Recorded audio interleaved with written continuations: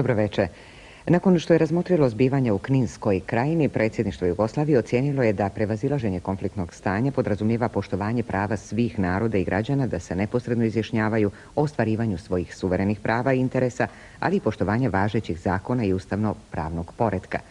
Predsjedništvo je ocijenilo da je došlo do smirivanja situacije, čemu su doprinijeli i napori nadležnih organa na svim nivoima da se iz zategnutog stanja izađe na miran način. Predsjedništvo međutim naglašava da problemi nisu riješeni i da je neophodno izvršiti detaljnu analizu svih uzroka i posljedica koji su doveli do ovih događaja. Predsjedništvo Jugoslavije ponovo ističe da se mora obezbijediti mir, red i bezbjednosti, da se mora učiniti sve kako bi se izbjegli međunacionalni sukobi i građanski rat i da će u tom cilju preduzimati sve mjere koje mu kao državnom organu pripadaju po Ustavu Jugoslavije i zakonima. Predsjedništvo odlučno odbija sve napade na predsjedništvo Jugoslavije jer nije ni jednim postupkom doprinijelo zaoštravanju međunacionalnih sukoba. Irak je danas počeo da premješta rakete zemlja zemlja na kuvajtsku teritoriju, odnosno da ih primiče uz granicu prema Saudijskoj Arabiji, saznaje se danas iz dobro obavještenih novinarskih i diplomatskih krugova u Kairu. Činjenica da bi ove rakete mogle da dejstvuju i sa hemijskim oružjem izaziva zabrinutost. Egipatski predsjednik Hosni Mubarak uputuje danas novi poziv iračkom šefu države Sadamu Huseinu da povuče trupe iz Kuvajta i spriječi izbijanje rata. Sovjetski premijer Nikolaj Riškov razgovarao, je danas u Moskvi sa članom Savjeta revolucionarne komande i potpredsjednikom iračke vlade Sadunom Hamadijem o situaciji u zalivu. Nisu poznati detalji razgovora, ali se prenosi izjava ministra inostranih poslova Ševarnadzea, koji je sinoć razgovarao sa Hamadijem. Ševarnadze je tada rekao da u najnovijem prijedlogu iračkog predsjednika ima elemenata koji zaslužuju ozbiljnu pažnju. Velika Britanija neće da pregovara sa iračkim predsjednikom Sadamom Huseinom o strancima zatočenim u Kuvajtu, izjavila je premijer Margaret Thatcher na današnjoj konferenciji za štampu. Saddam Hussein se krije iza leđa stranaca, žena i djece i želi da ih iskoristi kao živi zid od eventualnog napada, ali i kao pritisak da Zapad uvuče u pregovore, rekla je Margaret Thatcher.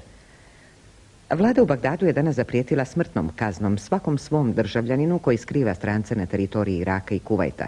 Također je upozorena vlada u Parizu da Irak neće dozvoliti odlazak Francuza iz Kuvajta i Iraka sve dok Francuska podržava Amerikanci i Britance u blokadi Iraka. Njemačka demokratska republika ujedinit će se sa Saveznom republikom Njemačkom 14. oktobra. Dogovorili su se danas premijer Lothar de Maizière i rukovodioci parlamentarnih frakcija. Taj dogovor treba da potvrdi istočno-njemački parlament koji sutra počinje trodnevno zasjedanje. Konačnu odluku donijeće istočno-njemačka skupština na vanrednom zasjedanju 9. oktobra. Predsjednik slovenačke vlade Lojze Peterle izjavio novinarima da je u današnjem razgovoru u Beogradu sa predsjednikom Saveznog izvršnog vijeća Anto Markovićem, kojim je prisustvovao i zamjenik Saveznog sekretara za narodnu odbranu admiral Stane Brovet, postignut dogovor prema kojem će se već u septembru 20 od regruta ostati u Sloveniji. On je to ocijenio kao izvjestan pomak, pa izgleda kako je rekao da je put za dalje pregovore otvoren. Industrijska proizvodnja u Bosni i Hercegovini bilježi konstantan pad. U odnosu na prosječnu mjesečnu proizvodnju iz prošle godine julska je manja za 22,3%. Prosječna mjesečna proizvodnja u prvih sedam mjeseci ove godine bilježi pad od 5,9%.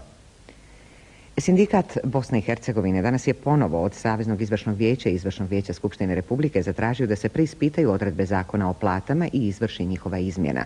Ovaj zahtjev odnosi se na isplatu dijela ličnog dohotka u dionicama i obveznicama, što se smatra neprihvatljivim, a aktualizirano je najnovim štrajkovima i upozorenjima koji dolaze iz privrede.